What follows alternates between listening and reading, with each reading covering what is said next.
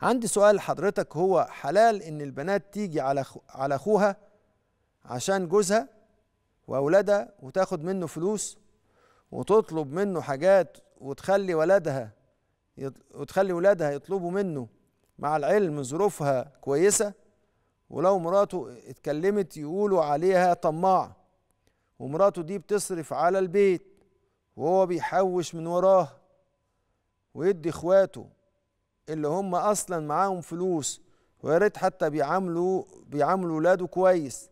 هل ده يرضي ربنا؟ السؤال الأول السؤال الأول أنت عارف السؤال كده كان باين الأول وبعدين ظهر في الآخر إن مين اللي بتسأل؟ مرات الأخ. مرات الأخ هي اللي بتسأل إن الأخت بتيجي على أخوها وتخليه يدفع فلوس. ما يدفعش. لو هو مش قادر لا يكلف الله نفسا إلا وسعها. هي لن لا هي فقيرة. ويجب عليه ان هو ينفق عليها إذا افتقرت ولا أي حاجة خالص. هي إيه اللي حاصل؟ بدل هي معاها فلوس وهي كويسة لو أنه لم يدفع لها هذا المال لا يكون آثما. لأن لا- يكلف الله نفسا إلا وسعها.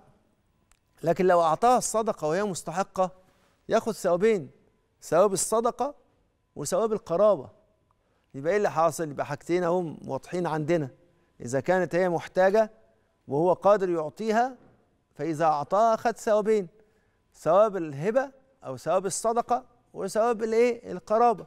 طب وإذا كان هو مش قادر وهي مش محتاجة لا يكلف الله نفسا إلا وسعها. وإحنا عندنا قاعدة تخلينا يتضح لنا الكلام بشكل لفظ سهل كده. إذا كان الإنسان معاه ما يبخلش لأن ده يوسع عليه في الآخرة. يبقى معانا ما نبخلش لكن لو مش معانا ما نستلفش. ولذلك لابد إن إحنا ببساطة وبسهولة نقول لأخونا ده أنت بتسألي هل ده حرام إن الست لو إن هي اتكلمت؟ لا من حقها إن هي تتكلم مع زوجها إزاي يديروا حياتهم وخاصة لو كان البيت محتاج لده.